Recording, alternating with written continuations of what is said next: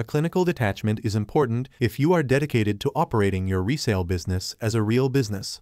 Rule number one is to never fall in love with your inventory. Passion for a category often gets people started reselling. It's a great jumping off point. Working with things you already know is a huge advantage. It also comes with some pitfalls. It can be hard to separate that passion from the business of buying and selling. Keep the personal collection separate from your inventory. Easier said than done, but necessary. The fact is, when buying goods to resell, you will buy some winning and some losing items. A few will win big, a few you may regret, most will sell in a fairly predictable range. Even Walmart buyers who have thousands of data points at their fingertips don't get it right every time. If you shop at Kohl's, all those racks stuffed with last season's fashion prove the same point. When a professional buyer figures out they have a dud, they cut their losses and move on. It works for the biggest and the best, it can work for you too. It's fun to celebrate and remember the successes. Those wins can help guide future purchases. Allowing your online store or shop to get clogged up with ignored duds is a sure recipe for failure.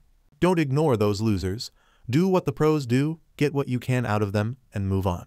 If you are buying and selling consistently and have a decent understanding of how to value goods, things have a way of evening out. If you are starting out, you will have quite a few duds. It's part of the cost of gaining skill. Don't fret, just learn and grow. One important thing to keep in mind no one cares what you paid for an item. They only care what they are willing to pay. Once it's bought and paid for, it's a sunk cost. Focus on selling it for a reasonable amount of money based on the ever changing market. If you avoid getting hung up on what you paid, you will be better at turning goods. Don't be greedy. Everything has a value based on supply and demand that goes up and down all the time. Getting a reasonable return on many items is a lot more successful long term than trying to hit grand slam home runs every time. How quickly you need your money out of an item matters. If it's a big ticket item that restricts your ability to buy the next thing, turn it quickly. If you can afford to keep that money tied up for a bit, you may be able to maximize your return on that investment. Even then, never lose sight of the time invested. A mental trick. When you look at your shelves of goods for sale, look at them as stacks of money. It's really cash stuck on shelves until they sell. If some of that money sitting on a shelf is covered in cobwebs, dust it off and cut your losses.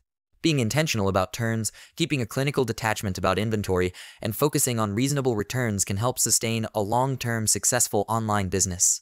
Knowledge is power, it's also profit. You made it to the end. Now you have to subscribe. There's plenty more content designed to help you find and profit from the good stuff in thrift stores and garage sales. Thanks, it helps a lot.